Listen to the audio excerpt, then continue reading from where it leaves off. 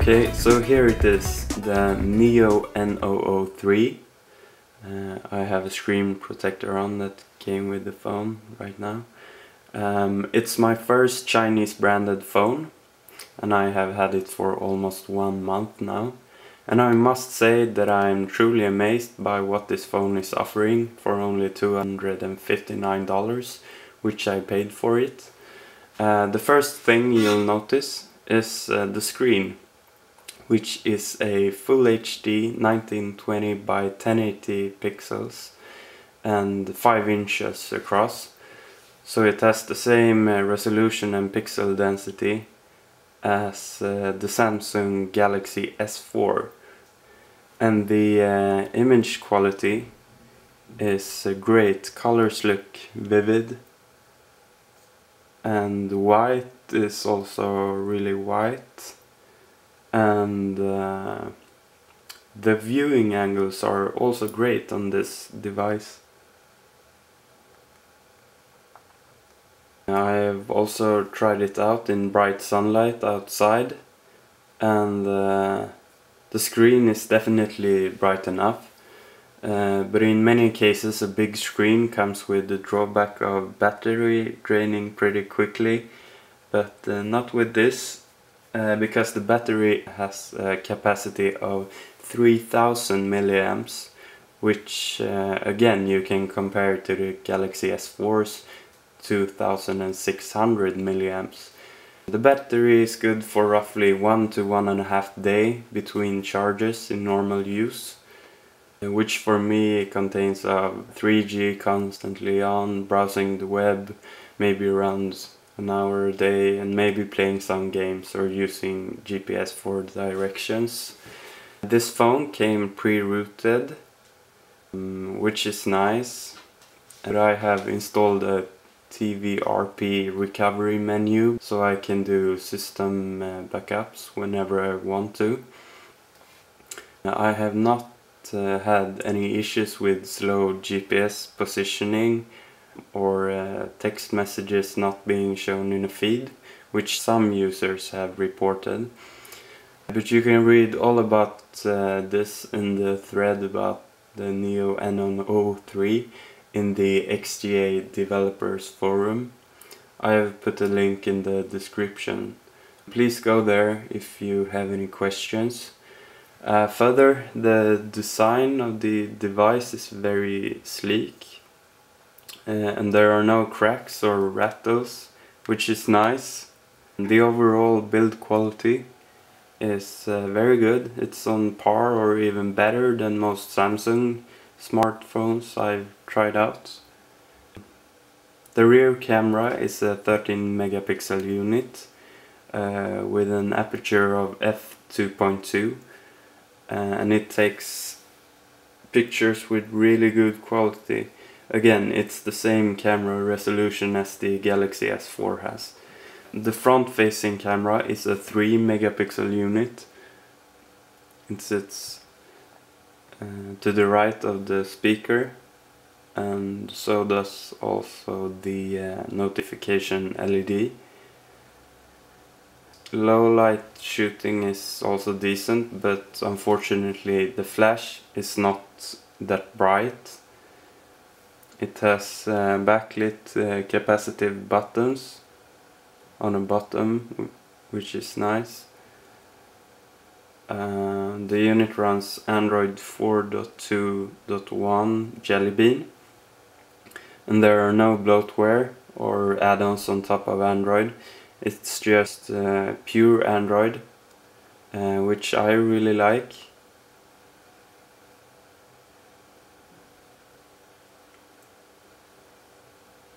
um, it has a MediaTek CPU clocked at uh, 1.5 gigahertz and uh, along with 2 gigabytes of RAM.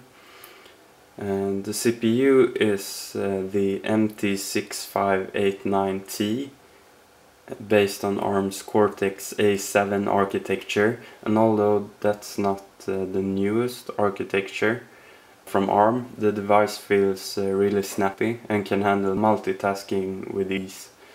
Um, I personally often have many different tabs up in Chrome and I never experienced that the device feels slow in any situations, whether playing games, watching videos on the internet or whatever.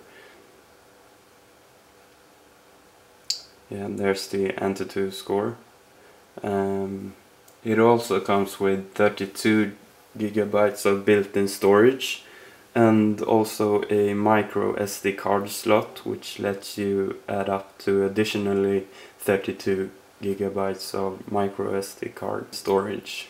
And the sound quality from both the telephone speaker and the loudspeaker is good but nothing special.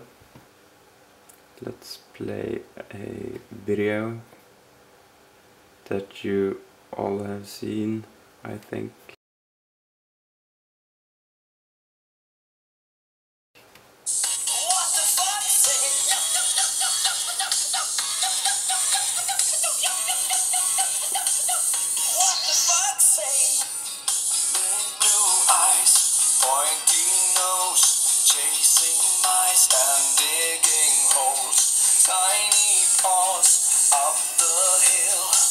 Suddenly you're standing still. Your fur is red, so beautiful, like an angel in disguise. But if you meet a friendly horse, will you communicate by Morse? More? How will you speak to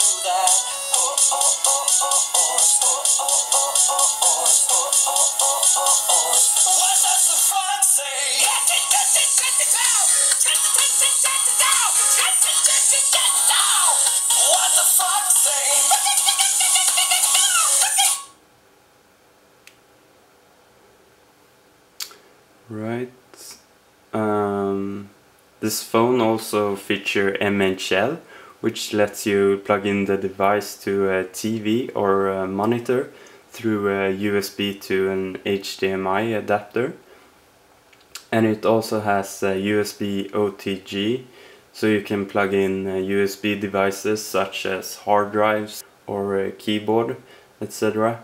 Uh, through a micro USB to a USB adapter. The only downsides with this device is to me that it does not support 4G LTE and also the stock launcher was a bit sluggish but that was uh, easily fixed by downloading Nova Launcher from the Google Play Store. Another thing I noticed is that uh, I have uh, on my screen I have a uh, dead pixel. It's really hard to notice. Yeah, the only time I notice it is when uh, turning on the device when the screen is black. Uh, but as there are over 2 million pixels on this screen, it is hardly ever noticeable. Let's see. I don't think it's yeah you're not able to see it in this video I think but it's somewhere around here and it's a dark bluish pixel actually it's right there uh, but it's almost impossible to see um, there are many online stores that sell the Neo N003 I personally ordered it from yoymart.com for $259 including free shipping. Uh, I also didn't have to pay any toll or any fee for it when it shipped to Sweden where I'm from but I guess I was just lucky. Yeah, so basically that's my thought on the Neo N003. Uh, if you have more questions, please refer to the XDA developer forum link that I have uh, put in the description. You can find everything that I've gone through there. Well, that's it for me. Thanks and goodbye.